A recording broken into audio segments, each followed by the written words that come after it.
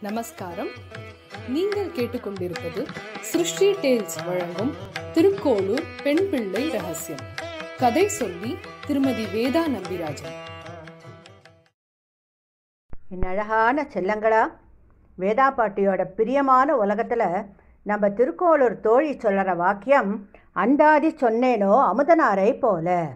ரொம்ப சுவாரஸ்யமான விஷயத்த பார்க்க போகிறோம் பூலோக வைகுண்டமான ஸ்ரீரங்கத்தில் உடையவர் ராமானுஜர் மடம் அமைத்து வைணவ சம்பிரதாயத்தை வளர்த்துட்டு வரார். திருவரங்கத்தில் பெரிய கோவில் நம்பின்னு ஒரு பெரியவர் இருந்தார். கோவில் சம்பந்தப்பட்ட விஷயங்களில் ஞானமுடையவர் சாஸ்திர புலமை மிக்கவர் திருக்கோவில் நிர்வாகத்தை கவனிச்சுட்டு இருந்தார் ராமானுஜர் கோவில் நடைமுறையில் சில மாற்றங்கள் கொண்டு வந்தபோது பெரிய கோவில் நம்பிக்கை இதெல்லாம் உடன்பாடு இல்லை. தன் நிர்வாகத்தில் ராமானுஜர் தலையிடறதா எதிர்ப்பு தெரிவித்தார். பெரிய கோவில் நம்பிய கோவில் நிர்வாகத்திலேருந்து அகற்றினாக்க கோவில் நிர்வாகத்தை சீரமைக்க முடியும் அப்படின்னு ராமானுஜர் நினைச்சார். ஆனால் அரங்கனுக்கு பெரிய கோவில் நம்பிய நிர்வாகத்திலேருந்து மாற்றத்துக்கு உடன்பாடு இல்லை. பெரிய கோவில் நம்பி என்னையே நம்பியிருக்கான். அவன் கோவில் பணியிலிருந்து வேலை நீக்கம் செய்ய வேண்டாம் அப்படின்னு அரங்கன் சொல்லிட்டார். ராமானுஜருக்கு கோபமும் வந்தது வருத்தமாகவும் இருந்தது.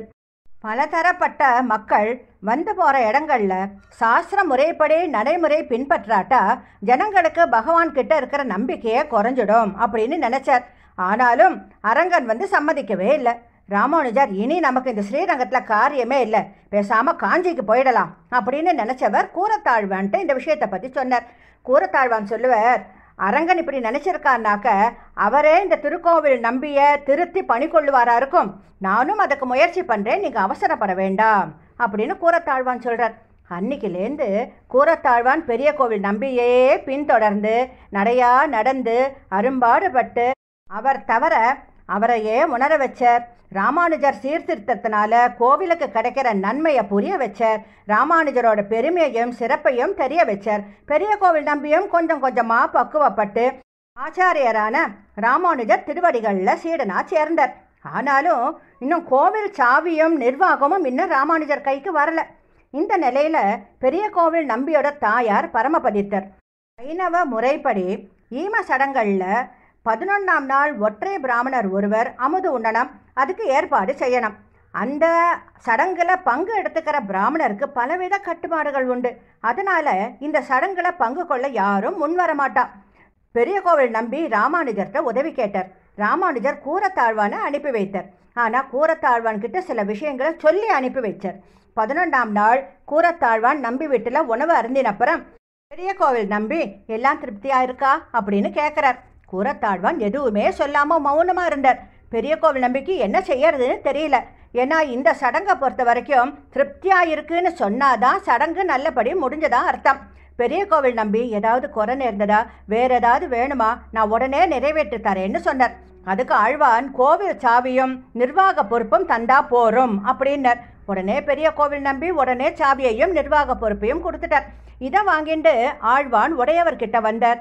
உடையவர்கிட்ட அந்த பொறுப்பெல்லாம் சாவியையும் கொடுத்த உடனே ராமானுஜருக்கு ரொம்ப சந்தோஷம். கோவில் நடைமுறைகளில் நல்ல பல மாற்றங்களை கொண்டு வந்தார். பெரிய கோவில் நம்பியையும் அதில் சில பொறுப்புகள் கொடுத்தார். நாளடைவில் நம்பி ராமானுஜரோட மேன்மைகளை புரிஞ்சுண்டு அவரை புகழ்ந்து அந்தாதி பாடல்களே ஏற்ற ஆரம்பிச்சிட்டார். இந்த பாடல்களை படித்து பார்த்த எம்பெருமாள் பெருமான் ஆழ்வார் ஆச்சாரியர்களை தான் புகழ்ந்து எழுதணுமே தவிர என்ன புகழறது எனக்கு உடன்பாடே இல்லை. உமக்கு எழுதணும்னு ஆசை இருந்தால் என் மனசுக்கு உகந்த பகவானையும் பகவானுக்கு பிரியமான ஆழ்வார்களையும் ஆழ்வார்களுக்கு இஷ்டப்படும் திவ்ய தேசங்களையும் பாகவதர்களையும் கொண்டாடி எழுதும் அப்படின்னு சொல்லிட்டார். நம்பி வருத்தத்தோட கூறத்தாழ்வார்கிட்ட யோசனையை கேட்டார். ஆழ்வார் அருமையான ஒரு வழி சொன்னார். ராமானுஜருக்கு பெருமாள் ஆழ்வார்கள் ஆச்சாரியர்கள் கிட்ட இருக்கிற பிரேமையை எடுத்து சொன்னார். ராமானுஜரை இவர்களோட சம்பந்தப்படுத்தி எழுதினா அதை ராமானுஜர் நிராகரிக்க முடியாதுன்னு சொன்ன உடனே பெரிய கோவில் நம்பிக்கு ரொம்ப சந்தோஷம். பெரிய கோவில் நம்பி திருமகள் கேழ்வனின் பெருமைகளையும் ஆழ்வார்களின் பகவத் கைங்கர்களையும் ஆழ்வார்களிடம் பக்தி கொண்ட பகவத் ராமானுஜரோட ஆத்ம குணங்களையும் அற்புதமான சாதனங்களையும் திருமால் அடியவர்கள் அனைவரும் அனுபவிக்கிற மாதிரி ராமானுஜ நூற்றந்தாதி அப்படிங்கிற நூற்றி எட்டு பாசுரங்கள் கொண்ட நூல் இயற்றி ராமானுஜர்கிட்ட சமர்ப்பித்தார்.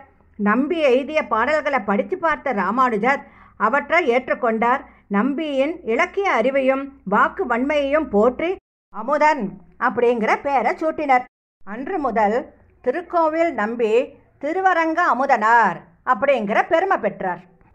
திருவரங்க அமுதனாரோட பாசுரங்களை நம்பெருமாள் கேட்டு ரொம்ப மயங்கி ரொம்ப சந்தோஷப்பட்டு திவ்ய பிரபந்தத்தோடு இந்த நூலையும் சேர்த்துக்கணும்னு ஆணையிட்ட அப்படியே இது பிரபந்த காயத்ரின்னு இதை போற்றப்படுறது.